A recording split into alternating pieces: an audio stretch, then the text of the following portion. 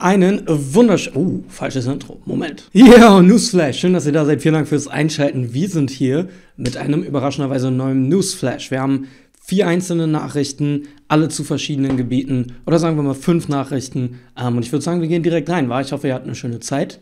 Ich hoffe, ihr habt ein schönes Wochenende gehabt und habt es noch nach wie vor. Pro Bowl heute Abend. Kann man gucken, muss man nicht ich würde extra oder ich würde nicht extra dafür planen an eurer Stelle, wenn ich ehrlich bin. Alright, die einzigen noch offenen Head-Coaching-Spots sind jetzt ein bisschen das Thema dieser ersten Nachricht. Wir haben ganz viele Posten, die schon vergeben sind. Ähm, zum Beispiel die Bears, Vikings, Giants. Ähm, Jacksonville hat jetzt Doug Peterson. Wen gibt es noch, der einen neuen Coach hat? Ich vergesse irgendwen, Denver hat einen neuen Coach. Es kann sein, dass es sogar alle sind. Oder wie ich mich kenne, vergesse ich jetzt genau einen. Falls ja, dann sorry. Auf jeden Fall gibt es noch drei Teams, die momentan keinen Head Coach haben. Und langsam ist schon so ein bisschen eine Phase, wo man denkt, äh, also der Senior Bowl ist jetzt zum Beispiel schon gewesen. Ist eigentlich ein bisschen merkwürdig, dass da manche Teams noch keinen Head Coach haben. Beziehungsweise es es hilft halt nicht wirklich weiter. Denn ja, du kannst halt in den Gesprächen vorher immer schon ein bisschen reden, von wegen, ja, in welche Richtung würde denn das gehen und so, aber du willst ja mit jemandem nicht komplett deine Pläne besprechen, der dann eventuell nicht mal dein Headcoach wird. Ähm, und dementsprechend sollte man jetzt langsam wirklich einen Headcoach kriegen, damit man nicht zu weit zurückfällt hinter alle anderen im ganzen Draft-Prozess und ganzen Free Agency-Prozess und so weiter. Deswegen gehe ich auch davon aus, dass in der nächsten Woche alle drei Posten gefüllt werden. Äh, bei meinem Glück wurde vielleicht jetzt schon einer vor dem Video gefüllt. Wir haben die Dolphins, die momentan noch auf der Suche sind. Und es scheint sich auf zwei Finalisten ähm, jetzt zugespitzt zu haben. Das eine ist Mike McDaniel, wo ich, äh, den, den hatte ich als meinen kleinen Geheimfavoriten in dem äh, Video, wo ich Headcoaching-Kandidaten vorgestellt habe. Da haben viele noch gesagt, nee, der ist zu jung, zu unerfahren. Und ich hätte ehrlich gesagt auch nicht gedacht, dass er dieses Jahr eine Chance kriegt. Aber jetzt ist er scheinbar Finalist bei den Dolphins, zusammen mit Kellen Moore dem Offensive Coordinator von den Cowboys. Ähm, und wer sich jetzt fragt, woher weiß man, wer ein Finalist ist und so weiter, das sind in der Regel die, die für ein zweites Interview reinkommen. Oder wenn halt Insider sagen von mir, oh ja, der ist ein Finalist, dann kann man den meistens auch vertrauen. Ähm, sowohl Mike McDaniel als auch Ken Moore, beide sehr, sehr junge Typen, beide sehr offensive-minded. Also ist es scheinbar die Richtung, in die die Dolphins gehen wollen. Die Texans haben auch noch keinen. Da sieht es momentan aus, als wäre es Jonathan Gannon, der kommt. Ähm, Eagles, wenn ich jetzt nicht ein komplettes Brainlag habe, und dann Josh McCown. Äh, das sind die beiden, die da Favoriten sind. Und das sind beides jetzt Leute, wo ich sage, ich weiß nicht, in welche Richtung das geht. Ähm, denn das sind jetzt keine gestandenen Namen, das sind keine von den absoluten Favoriten, die neu hochkommen, sondern das eine ist halt Josh McCown, der ist, also der, der hat halt nicht mal Coaching-Erfahrung richtig. Äh, seitdem man zählt die ganzen Jahre als Backup-Quarterback, als so Halbcoach, was auch immer. Und Jonathan Gannon war jetzt, wie gesagt, den hatte ich halt auch nicht mal in dem Headcoach-Video. Den hätte ich vermutlich nicht mal drin gehabt, wenn ich noch fünf, sechs Leute mehr genommen hätte. Also bisschen merkwürdig, was die Texans da machen, aber manchmal sind so unbeschriebene Blätter ja dann auf einmal absolute äh, Wunderkinder, zum Beispiel Sean McVay. Ähm, wir haben die Saints, die als drittes und letztes Team noch einen Headcoach suchen. Da sieht es sogar beinahe aus, als wäre das so eine interne oder halbinterne Sache. Ähm, ich denke, Dennis Allen wird den Job kriegen. Der war schon bei den Saints, war Defensive Coordinator. Ähm, und ich nehme an, der wird einfach quasi befördert innerhalb der Saints. Dann könnte es noch Aaron Glenn sein. Der war letztes Jahr der Defensive Coordinator von den Lions, ist damit gekommen mit Dan Campbell, der auch kam. Entschuldigung, von den Saints.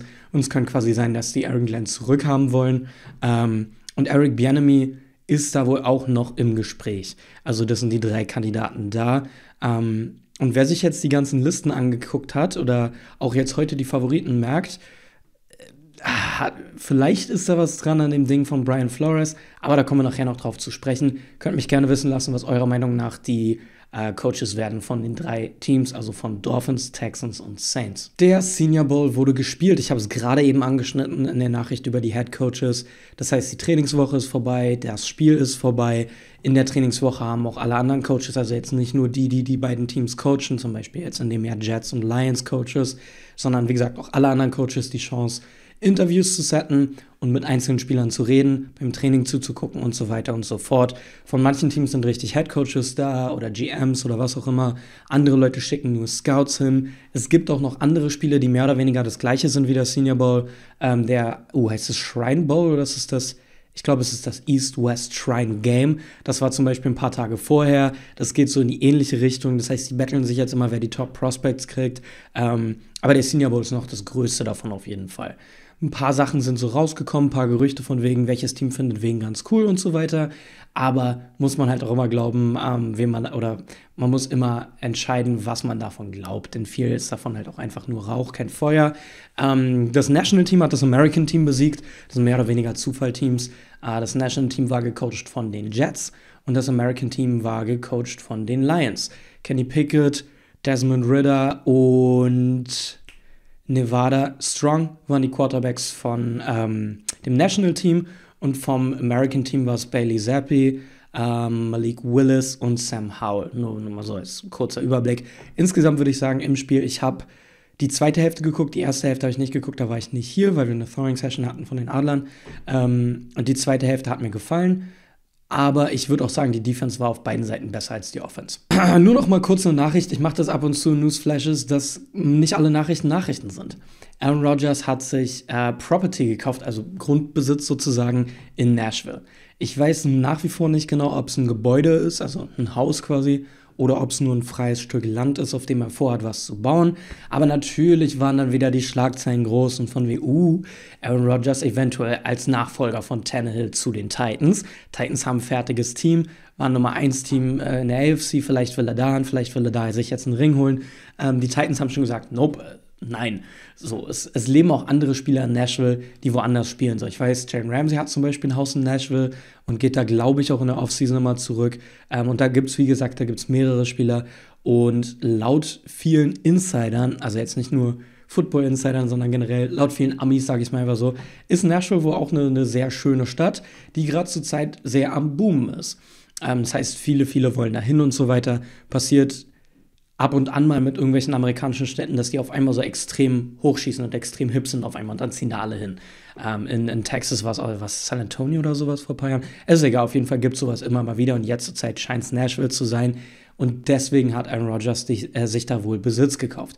Wie gesagt, es haben schon Leute gesagt, nope, das hat damit nichts zu tun. Die Titans selber haben gesagt, wir wollen Aaron Rodgers nicht holen, um Tannehill zu ersetzen. Ähm, also ja, es ist immer interessant und ihr merkt, wir nähern uns der Offseason. Das heißt, so kleine Sachen sind dann auf einmal größere Stories, als sie in der Saison wären. Aber nicht alles ist eine Story. Die NFL, die Giants und die Broncos haben sich alle zu der Anklage geäußert von äh, Brian Flores, in denen er quasi diesen Teams ähm, rassistische Headcoaching-Anheuerungspraktiken unterstellt. Auf das Wort Praktiken bin ich letztens nicht gekommen, wo ich Praxen sagen wollte, aber ja, ihr wisst ja jetzt, was ich meine.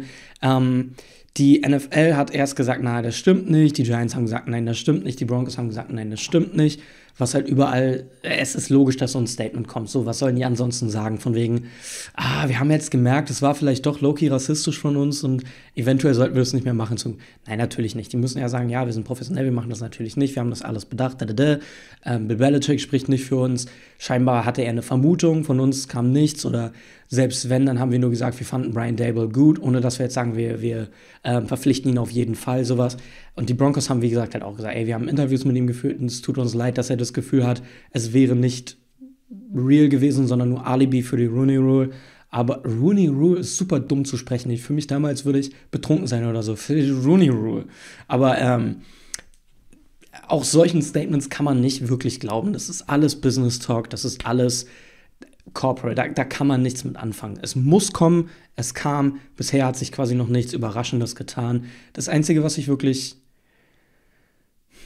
ansatzweise gut fand, aus Gründen, auf die ich gleich noch zu sprechen komme, ist, dass die NFL und Roger Goodell in Vertretung der NFL ein Schreiben an alle Teams rausgegeben hat, einen offenen Brief, also die, ihr könntet den auch lesen, wenn ihr wollt, ähm, wo drin steht, ey, so, wir versuchen schon alles zu machen, aber guckt euch mal bitte an, wer jetzt neue Headcoaching-Posten gekriegt hat. Das ist halt wieder alle weiß. So, und das ist halt genau das, wo wir, da, wo wir gegen vorgehen wollen. Ähm, und manchmal lese ich Argumente auch in Kommentaren und so auf Twitter, womit man sehr vorsichtig sein muss. Ich verstehe die Logik dahinter, aber man muss trotzdem vorsichtig mit sein. Denn manche Leute sagen, ja, okay, das sind aber nur 32 und es, es gibt ja schon doch deutlich mehr Weiße als andere Leute in den USA, deswegen redet man ja auch von Minderheiten bei den anderen. Ähm, deswegen kann es ja sein, dass einfach zufällig alle 32 weiß sind. Das muss nichts mit Rassismus zu tun haben wie gesagt, ich verstehe die Logik, aber man muss einen Schritt weiter denken. Damit habe ich, wie gesagt, auch häufig ein Problem. Ganz häufig, wenn ich irgendwas logisch finde, höre ich in dem Moment einfach auf zu denken. Nicht mal nur in politischer Hinsicht oder was weiß ich, sondern in jeglicher Hinsicht. Irgendwas ist logisch für mich, bumm, dann muss es wohl richtig sein. Manchmal muss man sich überwinden und dann noch ein bisschen weiter hinterdenken. Ähm, dann guckt euch mal einfach die letzten Jahre an. Und das ist dann halt nicht ein Snapshot von wegen eine Saison, alles in weiß, sondern es ist halt wirklich fast die ganze Zeit durch. Und wir haben sehr, sehr häufig Headcoaching-Kandidaten, wo man nicht wirklich Flaws findet oder nur erzwungene Flaws, also Fehler sozusagen, ähm, die über Jahre hinweg keine Chance kriegen, die viel mehr leisten müssen. Und dann auf der anderen Seite haben wir einen Josh McCown, der jetzt auf einmal einfach so eventuell Headcoach wird, ohne irgendwas dafür gemacht zu haben. Ohne ihn jetzt disrespekten zu wollen, aber ihr versteht, was ich meine. Im Vergleich zu anderen Headcoaching-Kandidaten, wie zum Beispiel einem Eric Bianemi. Aber gut. Ähm, und deswegen, ja, irgendwo ergibt es Sinn, die Logik von solchen Leuten, aber nicht wirklich anwendbar in dem Beispiel, finde ich. Ähm, und wie gesagt, ich finde es theoretisch gut, dass die NFL dieses Schreiben rausgegeben hat, weil sie es nicht hätte machen müssen. Aber auf der anderen Seite heißt es halt auch wieder gar nichts. Es ist wieder ein bisschen leer, von wegen, ey, das, das sollten wir aber nicht machen. Und dann nächstes Jahr passiert es wieder. Und dann sagen die wieder, oh, das, das sollten wir nicht machen. Und dann passiert es wieder. Ähm, also nur das anzusprechen reicht irgendwann nicht mehr. So, das war ein wichtiges Thema. Jetzt kommen wir zu einem unwichtigen Thema. Deswegen werde ich da auch versuchen, nicht allzu lange drüber zu reden, einfach so ein bisschen auflockern am Ende. Ähm, das Washington Football Team ist jetzt nicht mehr das Washington Football Team, sondern hat jetzt richtigen Namen. Das kam ziemlich genau raus, als ich mein Newsflash fertig hatte. Ich habe überlegt, ob ich extra dafür nochmal ein Segment aufnehme und ranschneide hinten. Hatte ich keine Lust drauf, habe ich gedacht, äh, mache ich einfach am nächsten. Ähm, die heißen jetzt Washington Commanders. Den Namen an sich finde ich nicht schlimm. Ich habe kein Problem mit Commanders. Ich verstehe überhaupt nicht, warum die ganze Fanbase sich so auf, was war das, Red Wolves oder so, äh, fixiert hatte. Weil, so, ja, Wölfe sind cool und alles, aber, also, okay. Ähm, und Commanders ergibt halt irgendwo Sinn wegen Washington DC, weil Hauptstadt und, ähm, oh Gott, ist das Pentagon da? Ich glaube, das Pentagon ist da. Dann würde das schon so ansatzweise Sinn ergeben mit Commanders, die kommandieren. Hm, hm, hm. Ist irgendwo also ich bin kein Riesenfan von dem Namen. Ich finde Tiere immer am einfachsten, am, am simpelsten. Ähm, und deswegen finde ich das ganz cool. Aber ich finde es auch nicht so schlimm wie andere. Was ich nicht mag, ist das Logo zum Beispiel. Ähm, ich weiß, dass es Absicht ist, dass es so einfach ist, dass es Minimalismus sein soll oder Minimalismus ist. Ähm, ich finde es langweilig. Ich habe aber auch generell was gegen einfach nur Buchstaben als Logos in der NFL, im College, überall. So Chicago tot, Packers tot. Was haben wir noch so? Ähm, für Buchstaben Giants. Ich mag das Team, aber das Logo. Aber das Ding ist, die Giants haben halt wenigstens Tradition. Die können sich hinter dem Grund oder Packers auch Tradition verstecken, dass sie sagen, ja, an sich ist es kein geiles Logo, aber es ist ikonisch jetzt inzwischen, weil wir haben das seit 5000 Jahren und das kann Washington halt nicht. Die haben ein neues Logo gemacht, hatten sämtliche Freiheiten und mit Commanders kann man, glaube ich, auch cooles Zeug machen. Bin ich vielleicht zu unkreativ für, aber es gibt so kreative Leute auf der Welt. Und manchmal finde ich, da müssen Firmen und auch Franchises ein bisschen über ihren Schatten springen und zur Not machen die einfach einen Wettbewerb. Wer kann das beste Logo erstellen? So, und dann hat es halt irgendjemand erstellt, von mir aus eine 21-jährige Grafikstudentin aus Pennsylvania und nicht irgendjemand, der teuer an, äh, gesigned wurde von Washington. Aber dann ist es halt so. Dann kriegt die da ihr Preisgeld, die ist happy, man hat ein geiles Logo am Ende und eine coole Story, statt dass man sich so hinter diesem ganzen Corporate-Ding versteckt und sagt, oh nee, wir müssen das selber machen, wir heuern nee, wen an, den teuersten, den besten, da, da, da. Ja, keine Ahnung, ich bin kein großer Fan vom Logo. Das Secondary-Logo, dieses Kreisding, finde ich, sieht aus wie eine Automarke. Ähm, Habe ich nicht großartig was gegen, aber ist halt auch nicht cool, finde ich. Ähm, genau, was noch? Die Jerseys Finde ich an sich okay, sehen ein bisschen aus wie College-Jerseys, aber ich warte mit sowas jetzt erstmal, seit ich mich sehr geirrt habe bei den Jets, wo ich erst super gegen die Jerseys war, aber auf dem Feld sehen die cool aus. Beim schwarzen Jersey verstehe ich das W hier oben auf dem Helm nicht, das sieht super dumm aus. Das sieht aus, als ob man so einen Punkt malt von wegen, ja, willst du mich stiff armen, zieh mal hier hin. So, hm. ähm, was ich nur richtig, richtig dumm finde an dem ganzen Ding, und da habe ich mehrere Football-Team-Fans gesehen, oder Commanders-Fans jetzt, wo ich mir wirklich gefacepalmt habe. Unter anderem auch Erik, bevor er jetzt wieder so, äh, meint Erik, aber er sagt es nicht. Ja, ich meine auch Erik. Leute, die ich super dumm finde, die Argumente, von wegen, oh, das hätte in Richtung Ureinwohner bleiben sollen. Warum? Man will doch mit Absicht davon weg. Das ist doch nicht so, ha, wir haben den ganzen Zeit Rothaut genannt, jetzt dürfen wir nicht mehr, dann nennen wir es halt Ureinwohner. So, nein, das ist Quatsch, das ist immer noch kein Maskottchen, bla bla bla. Und bevor er jetzt ankommt mit Florida State Seminoles, bin ich inzwischen vermutlich auch dafür, dass sie den Namen ändern, aber das ist nochmal eine andere Sache. Ähm, also das sehe ich nicht ein, wenn ich ehrlich bin. Dann Leute, die sich beschweren, äh, das hat jetzt nichts mehr mit der Franchise zu tun. Nein, dafür hat es deutlich mehr mit Washington zu tun, was an sich cooler ist, finde ich. Ähm, ich glaube, ich verlinke auf Twitter jetzt gleich mal. Also, wenn ihr Bock habt, könnt ihr auf meinen Twitter gehen und euch von gestern Nacht einen Tweet angucken. ähm, ein Video, wo es ganz witzig gegenübergestellt ist mit halt wirklichen ähm, Nachkommen von Ureinwohnern in, in den USA, ähm, die über den Namen reden und dann Fans von den damals noch Redskins. Die sagen, oh, ich habe meine ganzen Merchandise-Artikel, was soll ich jetzt damit machen? Da merkt man mal, wie dämlich so eine Argumentation ist.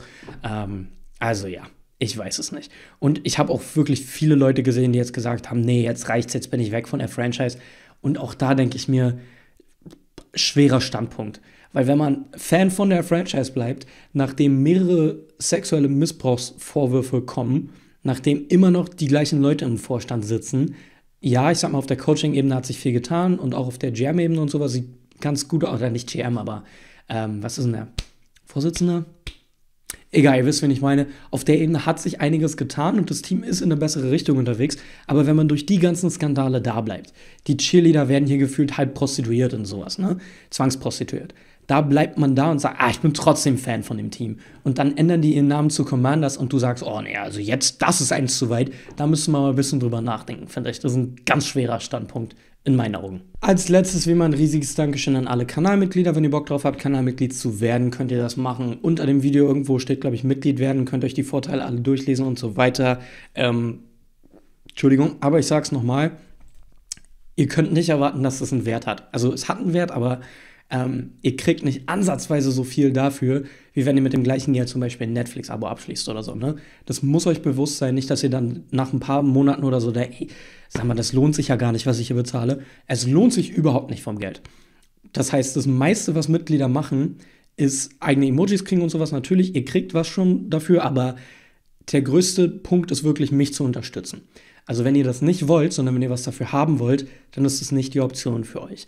Wenn ihr den Kanal unterstützen wollt, dann ist das die Option für euch. Und die, die das im quasi höchsten Level machen, äh, alle meine Pro-Baller, Shoutout an die. Dope Boden, neuer Typ, neuer Name, cool. TJ Ryan, Josie, Ben Dachgeschoss, Silstoner, Samus Han, Karle, Paul Rositzka, Robo, Mattes K, Paul, sein Channel. Kanale gerne Gordon Sport, Fabian, Marcel, Prinz, Champion, Baumeister, Jasil, Kunst, Maxim, Hannes Walder, Sven, Pollux96, Chris, Shreddis, Matthias Fischer, Joshua Ekund, Nessner, Jan Heyer, Stefan Grunder, GGT oder Lukas Blindic 91, Steve Arizona, Max Ambitious, Marcel Gro Falcons, Jonas Eberlein, Nacho Out, Levin Faust, Jets, Ami Kanaligen, Winnetou, Yankee Tango, Patrick Schneider, Tobias Mangel, Christian Riekert und It's Pretty Ass. Vielen Dank für euren Support, Jungs. Nach wie vor weiß ich den sehr zu schätzen. Alles klar, das war's mit dem Newsflash heute. Hoffe sehr, dass es euch gefallen hat. Wenn ja, würde ich mich freuen, falls ihr ein Like da lasst, wenn ihr neue Seiten nichts mehr verpassen wollt in Zukunft. Dann abonniert einfach. Und ich hoffe, wir sehen uns alle im nächsten Video wieder. Bis dann. Ciao.